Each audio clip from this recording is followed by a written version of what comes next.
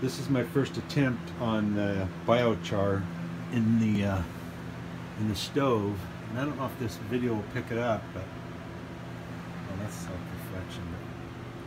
You can see gases coming out around the edge of the the pan, and then also there's a hole in the lid, and you can see a little bit of flame. I think the reflection's too much to be able to see it. But anyways, this is what I'm doing is I put wood chips in these turkey pans and then I put them in the wood stove and then they're supposed to make biochar. So this is all experimental. This is my first time trying this. Alright, this might be a little bit better. I closed the curtain. So around the edge you can see a little bit of flame coming off of it and then also on the very top see the looks like a candle in the middle? That's a hole in the lid. So I guess once uh, the gases are all burned up inside that's when it's ready. So once I don't see that flame around that outside edge is when I'm going to pull it. Alright this is my first attempt uh, at the biochar. So I've tried to set up some safety stuff who knows that doesn't always happen the way you want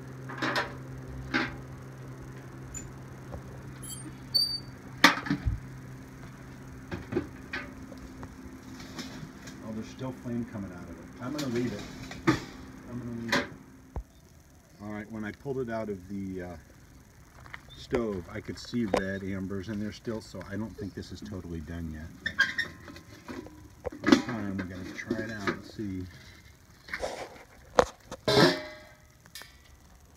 Look at the lids. These things came off. Really got hot.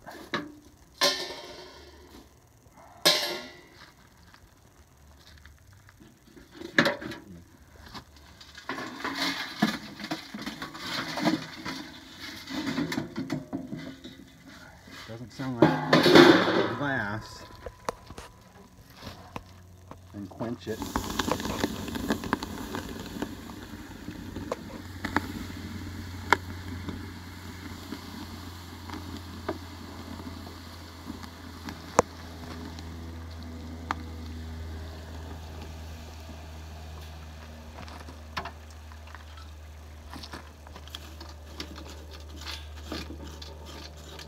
It probably should have went a little bit longer, I'm guessing, just by the way I'm, the way it sounds.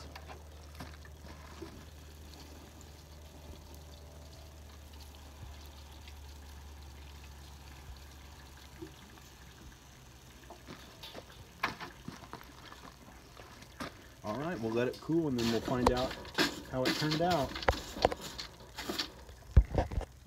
Also, um, when I put the biochar, when I take it out of the stove, I put it in the pot and it has holes in it. So when I pour the water over the top, it, it drains and it doesn't just sit in water.